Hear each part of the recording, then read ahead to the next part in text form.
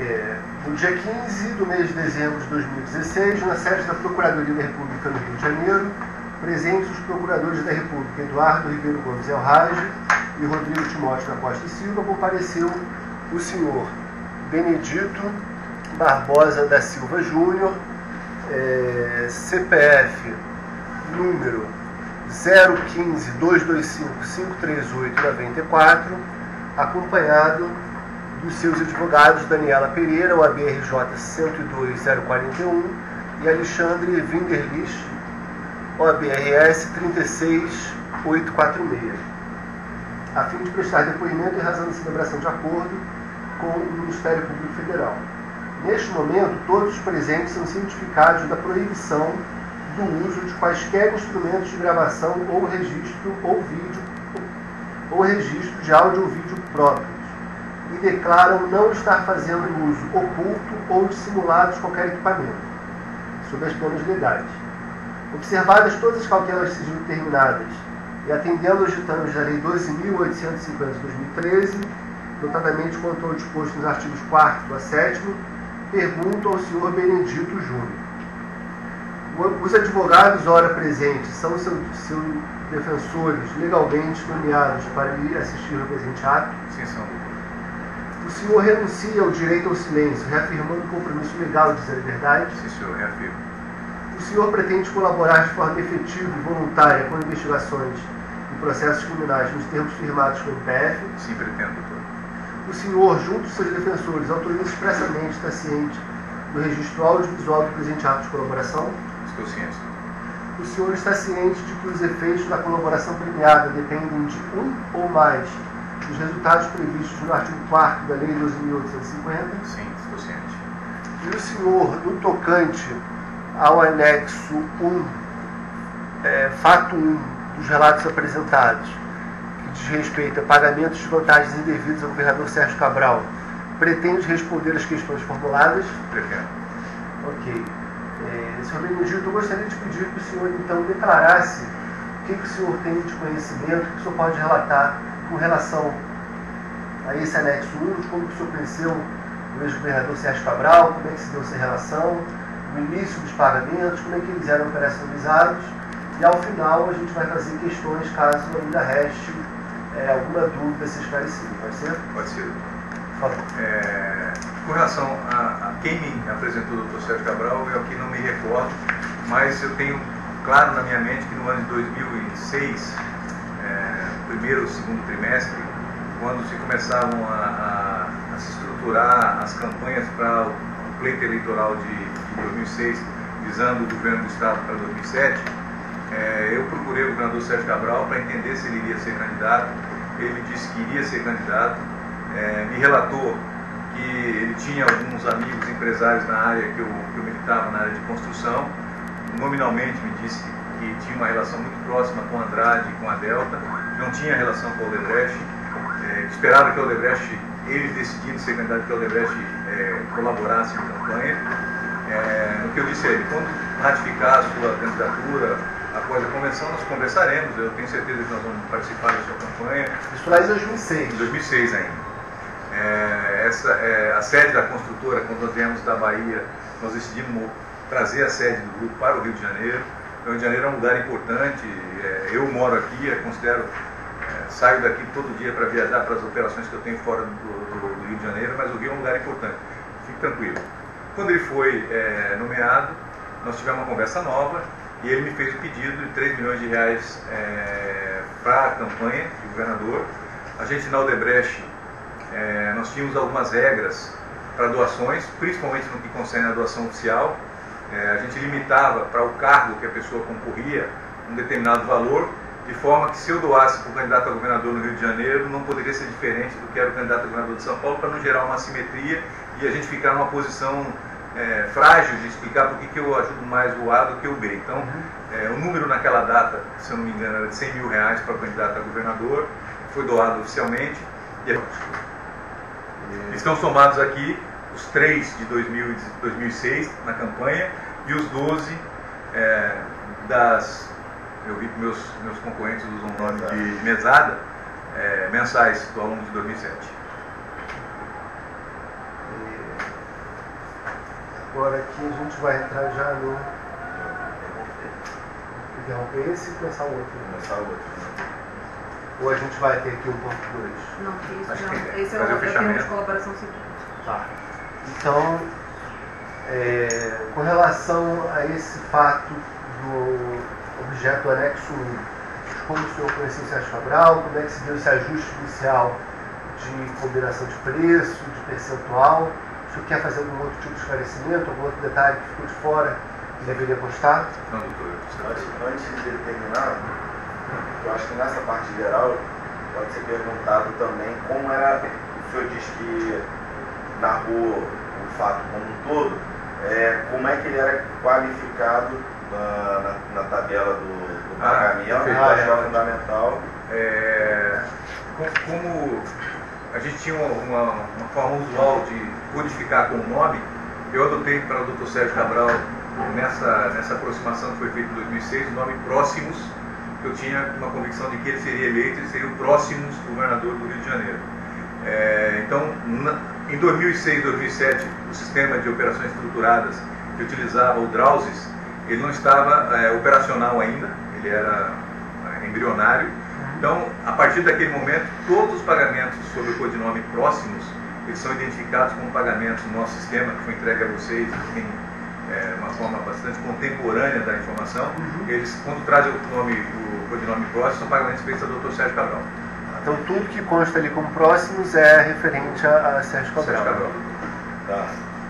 E também foi constado, é, consta também nesse primeiro depoimento do senhor, é, na declaração a respeito da viabilização desses pagamentos através de algum doleiro. Se o senhor puder esclarecer isso, isso Com certeza, acho que é importante. É, a Odebrecht, no seu sistema de pagamentos, ela usa é, por prestadores de serviço, nominalmente doleiros. No caso específico do Rio de Janeiro, a gente usava o Dr. Álvaro Novis, Que era o e- codinome. que era o codinome dele, é, Carioquinha, é, de acordo com os relatos. Eu, eu não operava o sistema, mas a gente Uhum. depreende no sistema que Carioquinha era ele. É, e ele, é, por acaso, também recebia, é, tinha alguma conta, então ele fazia uma compensação interna. No momento que a gente tinha o ok de pagamento dos 3 milhões, gerava um débito para a Odebrecht no acordo dele com o meu setor de operações estruturadas, que era equivalente na época, e gerava um crédito para o Próximos, que no caso era o governador Sérgio Cabral. Tá. Esse era o procedimento. O senhor tem essa ciência, porque eu também tenho uma proximidade. O Álvaro Novis é uma pessoa que você conhecia. Não só para esclarecer Não, eu- você conhecia o doleiro se você não era do sistema. Porque, porque o doleiro ele é parente de duas pessoas dentro da empresa, então a gente acabava convivendo junto. Convivendo, né? Convivendo junto. Então, Tá, eu- por isso você tem caso ciência específico, específico do Rio de Janeiro, você tem ciência. esse, esse operador eu conheço porque ele estava no, no Rio Mercado do Rio de Janeiro, era parente de dois executivos do grupo, então eu conheci ele. E, e o senhor sabia que o, o Sérgio Cabral tinha uma, essa conta corrente, entre aspas, é, com ele, através de quem? Ou foi Olha, informação é, de- foi, foi uma informação que me foi dada pelo, pela. Ou, ou foi o Wilson, ou foi o próprio governador, e eu ratifico como sendo dessa maneira, porque não havia necessidade de troca de endereço e senha para entrega de dinheiro. Então, nesse período inicial, tudo foi feito via compensação. Alguns casos depois, nós vamos ver aqui, tem endereço, tem entrega que foram feitas. Mas essa fase inicial, o doleiro era primordial nessa, nessa forma de pagamento. Ok. É, o senhor também é, listou aqui na- no seu no sumário executivo é, uma série de documentos que o senhor gostaria de apresentar para corroborar os fatos que o senhor ora narra, correto? Correto. É, a gente tem aqui um documento no anexo 1A, que é uma, é, é, salvo engano, parece ser uma agenda de Outlook, não é isso? é, é uma cópia fiel do meu Outlook, com todas as informações que eu recebi e gravei ao longo do meu relacionamento com o governador Sérgio Cabral para é, agendamento, para troca de comunicação com ele. São endereços, telefones, Endereços, telefones, pessoas de contato, secretárias. secretárias. Ok, o anexo 1B é, seria o quê? É, são ligações telefônicas que os meus advogados encontraram nas minhas contas telefônicas para os telefones que eu estou indicando como os telefones de contato que eu tinha do governador Sérgio Cabral ou de algum dos seus assessores. Correto. É, e o anexo 1C? O 1C são ligações, é, tele, também são ligações telefônicas. Aí a gente fez acho que um resumo Para Dorita. para Dorita. Uhum. Dorita. Dorita quem é? Dora- Maria Auxiliadora, que era a principal secretária do governador lá no Palácio. Tá. E o anexo 1D? O anexo 1B é os- o preposto direto do Dr. Sérgio Cabral para tratar desses, desses pagamentos ilícitos. A única pessoa com quem eu me relacionava para as combinações era o Dr. Wilson Carlos, que também era a pessoa que, que sentava com os meus executivos para combinar as formas de pagamento.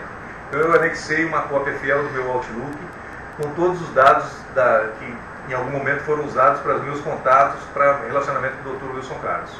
Correto. E o anexo 1E? O anexo 1 é, é uma demonstração da, da casa que eu frequentava é, na fase que eu fui construir a minha casa e, vivenciei o relacionamento pessoal. É a primeira casa que o governador teve lá na- no condomínio onde eu tenho casa até hoje. Que é a casa do canal, Que é a casa do canal, não é a casa da ilha. É uma dúvida com relação a essa casa lá de Porto Belo. É, o ex-governador Sérgio Cabral usava algum tipo de lancha, É, na época ele usava essa lancha que está parada na porta da casa. cujo nome é Porto, Porto Belo, Porto Belo. Eu- Mas isso aqui foi, essa, essa casa foi até vendida já, não foi? Olha, a informação que eu tenho é que ela, ela foi vendida no momento que o casal teve algum conflito e aí a Adriana comprou ou mudou para a casa da ilha, que é perto da casa que eu tenho, que é um, um outro lote do condomínio.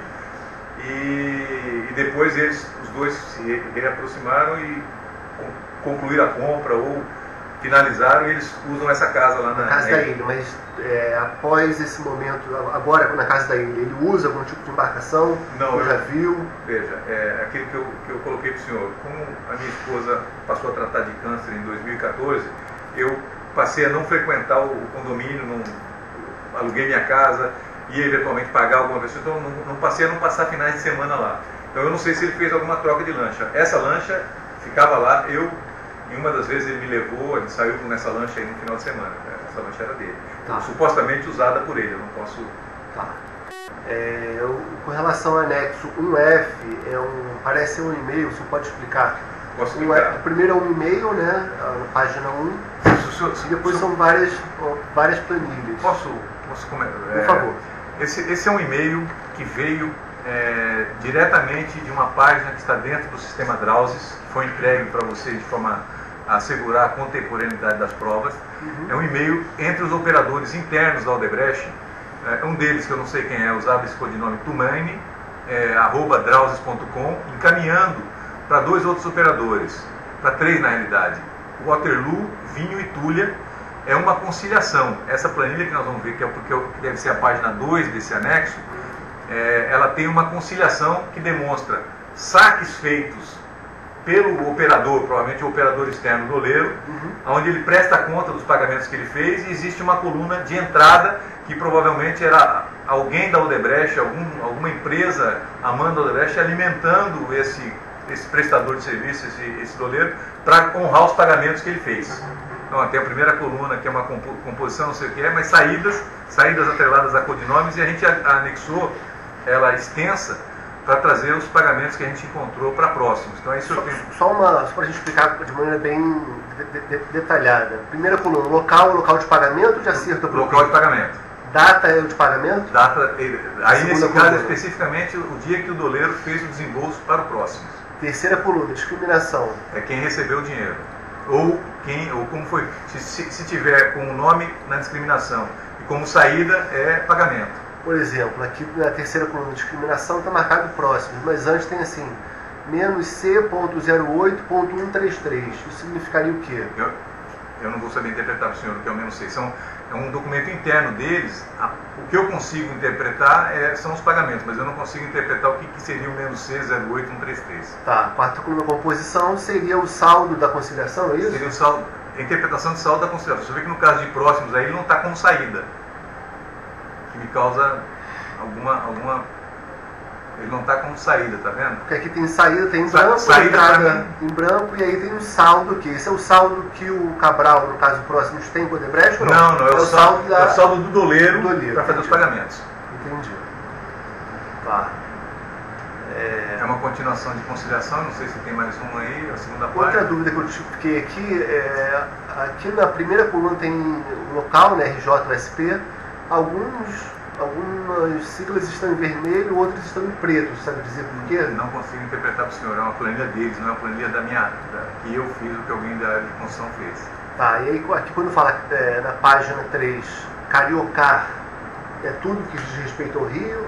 Eu, dir- eu diria para o senhor que é um outro, um outro codinome para o mesmo operador. Porque ele tinha carioquinha, ele podia ter cariocar. Pode ser uma conta diferente do mesmo, do mesmo doleiro. Tá. E aí tem próximos, próximos novamente, com as datas à frente, próximos. Aqui já é uma mudança para uma planilha de programação de pagamento. Onde você vê que era uma formatação diferente. 5, né? Ela, ela começa com as ordens de pagamento e aí os que estão gravados nossos ali. entendeu?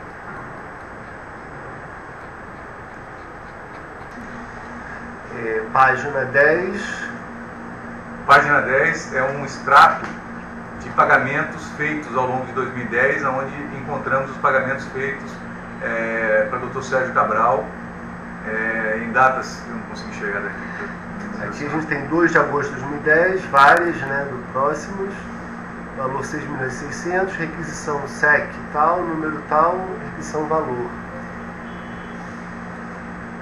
Eu, eu diria que são pagamentos, mas esse pagamento de 6 milhões e 600, eu não sei se era um valor total e a ordem era, era individualizada. Aqui talvez fosse 1, 2, 3, 4, isso é o valor total. Eu acho que a soma é 1 milhão e 600. A, a ordem É, a de, soma desses quatro aqui da, deve última coluna é os a 600. soma disso aqui. É, foram vários pagamentos para para atingir 6,600.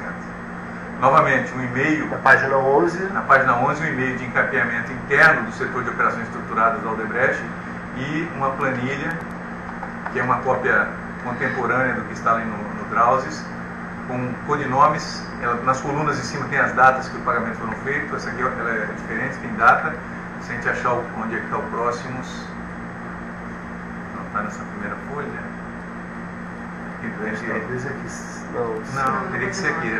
tô de novo. Aqui, Aqui. próximos. Dragagem em Indicamos No local da alocação da despesa, 800 mil reais, e tem- deve ter uma data lá no começo, doutor. Ela paga o Carioquinha, A data ser. a data está bem aqui no começo, em cima.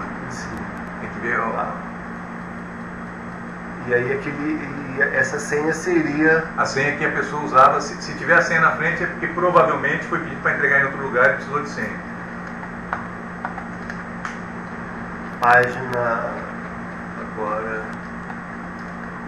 15, outra, o- é outro, Outro e-mail do Houses. eh, dos operadores, mais uma planilha com datas na coluna, os codinomes e, e precisamos encontrar onde é que está o. Onde é que tem isso.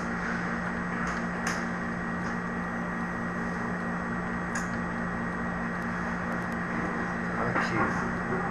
Pagamento para próximo, Maracanã, 300 330 mil, lá em cima 27 do 2013. 2013. 2013. É uma cópia fiel lá da. O senhor sabe dizer se o, o ex-governador Sérgio Cabral já recebeu alguma vez do Odebrecht dinheiro no exterior? Eu, veja, eu questionei ao longo do tempo meus executivos e nenhum deles me disse ter recebido nenhuma conta para pagamento no exterior. É, Eu nunca recebi nenhum, nenhum documento com pedido que ao invés de pagar em reais, pagasse lá fora. Eu, eu nunca recebi. Era sempre, então, é, no É, Brasil, no Brasil, dinheiro espécie. dinheiro espécie. E sempre através da obra no Ovis. Sempre através de Álvaro Novis, ou quer seja aqui, quer seja em São Paulo. É, aqui, página 39, tem além das solicitações e anexos, temos mais Rio, exportação, Fofão. Aqui, aqui eu diria que é uma comunicação interna, né, voltamos, é um, é um e-mail interno dos operadores do sistema, né? Você pode subir um pouquinho, doutor, por favor? Da Tulha, arroba drauz.com, para o Waterloo. Ela faz uma série de, de informações na, no corpo do e-mail que não dizem respeito a próximos. Provavelmente o anexo depois, que, que é uma programação de pagamento de uma semana, escrito programação semanal, um, dos, um a 5 Dentro da planilha. 1 a 5 do 9 de 14, ela vai, ela é anexa a planilha. Aí a planilha aqui, a planilha, ah,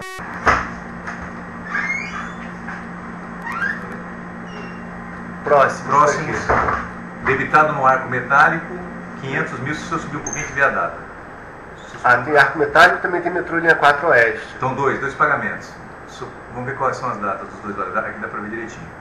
É, arco metálico, 500 mil no dia 2 do 9 e é, metrô linha 4, 1 milhão e meio no dia 3 do 9 de 14, doutor. Agora me tira uma dúvida, é, o governador, ex-governador Sérgio Cabral, ele saiu do governo em abril de 2014. Esse pagamento teria ocorrido em setembro de 2014. Por que ele continuou a receber dinheiro mesmo depois que saiu do governo? Provavelmente o valor que está aqui ele é pagamento que foi feito para a campanha do doutor Pezão. Na hora, na hora que a gente for analisar o anexo, provavelmente. Nós trouxemos. Consta como porque o Pezão tinha um codinome próprio na planilha. Não, próximos. A gente foi, ver, foi pago como próximos nesse período de Mas campanha. eu digo, o, o Pezão tinha um codinome próprio. Próximo nós não usamos, usamos próximos para pagar ele. Porque foi um pedido. usou, qual qual era o codinome do Pezão? Porque foi o pedido, foi pedido do doutor Cabral. O doutor Pezão não sentou com o Odebrecht para pedir o dinheiro. Foi uma conversa do doutor Cabral comigo é, em, no primeiro trimestre de Ah, você 2014. se recorda desse... Esse pedido? Tanto que no relato do, do governador Pezão, que eu acho que é um dos últimos que nós vamos fazer, Uhum. eu relato que foi um pedido do governador Cabral, ele pediu e nós debitamos ao próprio codinome dele. Ah, entendi. Apesar de não.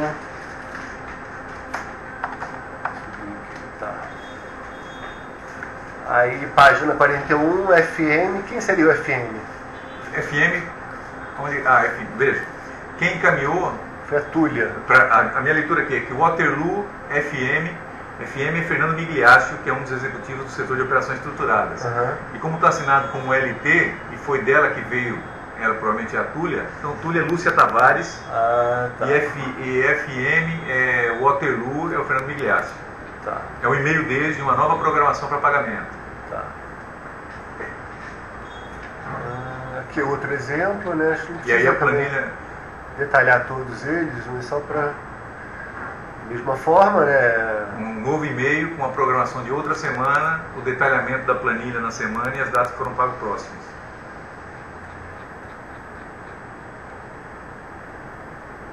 Aqui, Grasalho. Grisalho, alguém deixou uma post-it aí na hora de. que Não tem nada. Aqui. Aqui deve estar sendo usado numa corroboração do E na hora deu tempo. Grisalho Delcídio, né? Tá, aqui. É, também vários. Aqui em novembro de 2014, também do próximos, linha 4 Sul, metrô linha 4 Oeste. Três pagamentos, um cada, dois, pra cada, é, dois pagamentos, um de 370, outro de 710 no dia 5 do 11, de 14. Isso seria para quê? Eu acho que é também o resto da campanha do Pezão. E por que, que se era resto de campanha constava aqui o, o nome da obra?